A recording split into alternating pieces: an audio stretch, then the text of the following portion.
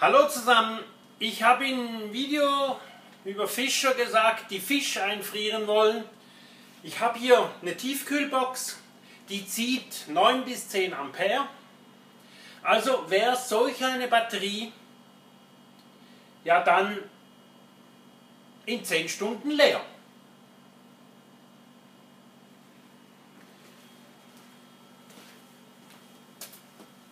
Ich habe heute Morgen um 7 Uhr gestartet und ich habe jetzt 17 Uhr, also 10 Stunden später, noch 12 Prozent in dieser Batterie drin. Die war rammelvoll. Wir ziehen jetzt hier nur noch 7,7 Ampere aus der Batterie. Ihr seht es vielleicht hier, sind fast minus 25 Grad. Aber dieser Thermometer zeigt minus 4, ich sage mal minus 5 Grad, 4,9, minus 5 Grad an.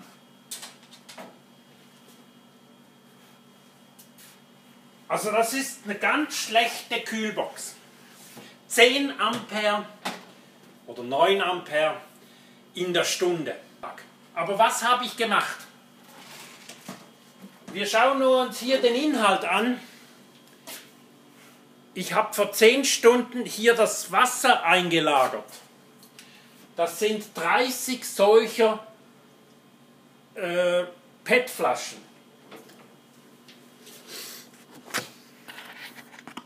Ich nehme jetzt kurz die Kamera und wir schauen hier rein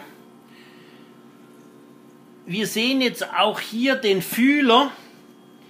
Der sitzt hier zwischen diesen Flaschen drin und diese Flaschen sind alle nicht gefroren. Ich habe hier eine Flasche, die ist so ein bisschen angefroren. Also wir nehmen die Flasche raus und stellen die hierher. Als schönes Beispiel. Diese Flasche war am Rande Also wir haben hier 15 Kilo Material drin. Diese Box hat eine Gefrierleistung von nur 7 Kilo. Das ist ein Becher, er ist beschriftet 0,4 und das ist eine Flasche mit 0,5.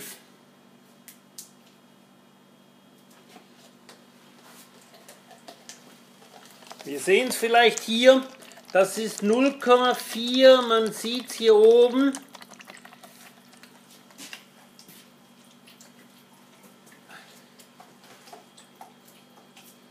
Ja, die Flasche ist schon gefroren. Und das war eine Flasche ganz am Rand. Also gefrieren von Wasser, Fleisch, Fleisch oder Fisch besteht hauptsächlich aus Wasser. Ja, es kommt noch Wasser. Ich zeige euch das hier.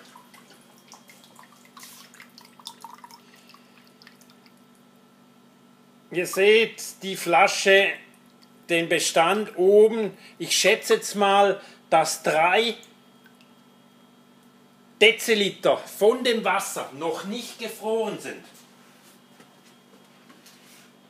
Und der Rest der Flasche ist gefroren also das heißt,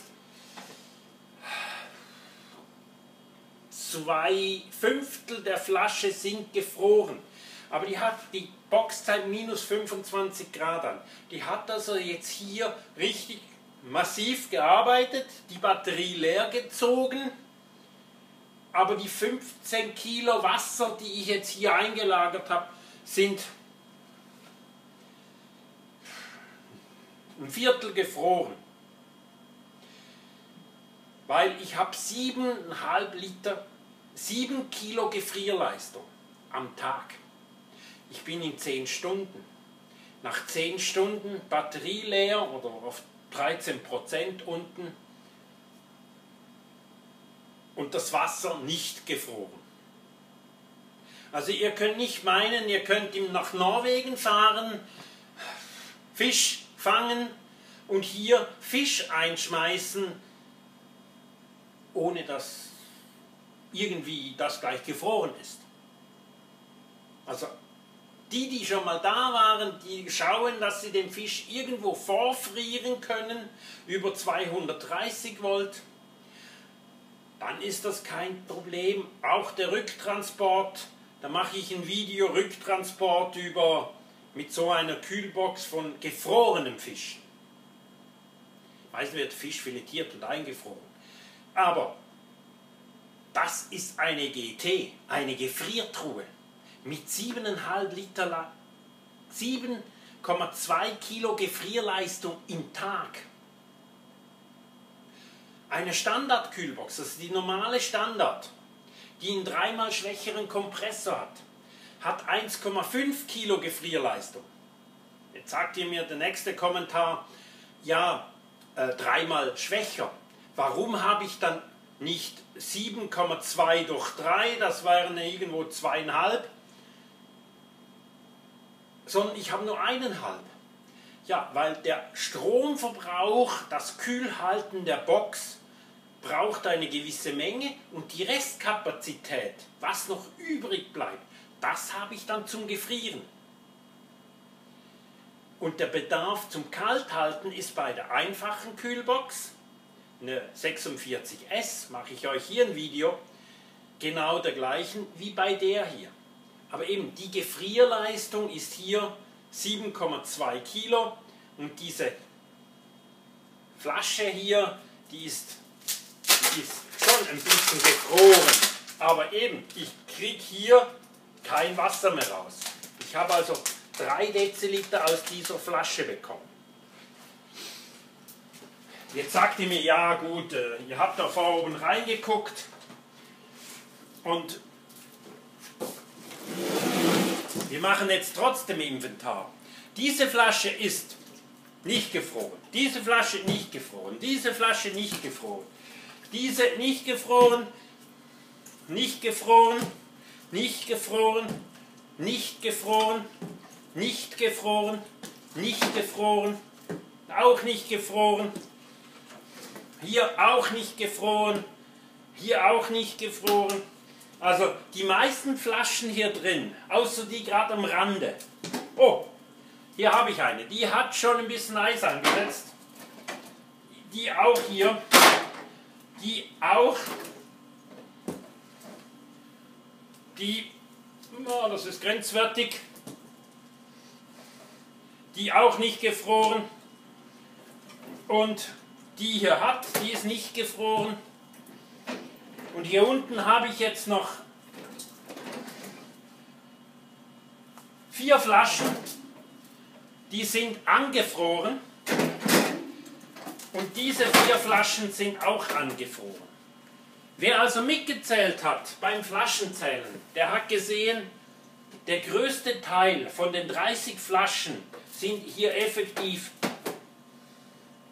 acht Stück angefroren und eine sind neun Stück angefroren.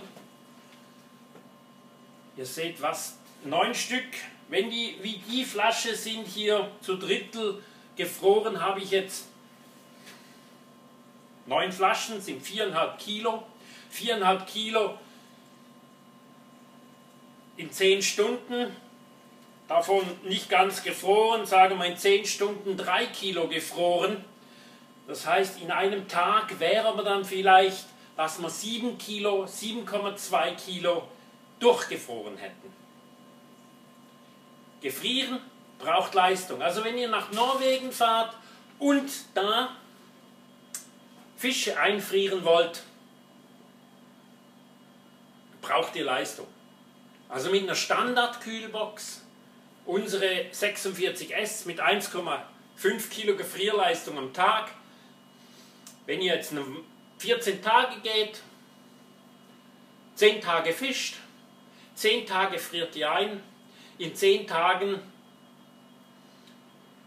wären das mit einer Standardkühlbox 15 Kilo Fisch, die ihr, also Filets immer nicht der ganze Fisch, sondern schon vorbereitet, vakuumiert und eingefroren, könnt ihr in 14 Tagen 10 Tage fischen, 2 Tage rauf, 2 Tage runter, also nach Norwegen. Und so könnt ihr 15 Kilo Fisch in einer Standardkühlbox einfrieren, mehr nicht. Und hier in dieser Box hier könnt ihr bis zu 70 Kilo in 10 Tagen einfrieren.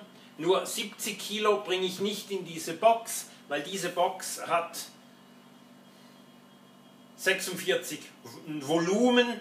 Das heißt, ich kriege nicht 46 Kilo Fisch rein, weil ich habe immer noch ein bisschen Luft dazwischen, auch wenn ihr sauber beigt und so weiter. Ich hoffe, der Test hier hat euch gezeigt. Wenn ihr mehr Fragen habt zum Transport, zum Kühlen, zum Runterkühlen, zur Energieversorgung auf dem Transport, eben, hier mache ich euch, zeige ich euch die Standardkühlbox. Hier, diese Kühlbox. Und hier unten ein Video auch über Fischer, die nach Norwegen fahren und der Problematik haben, ich will Fisch nach Hause fahren. Ich wünsche euch einen schönen Tag.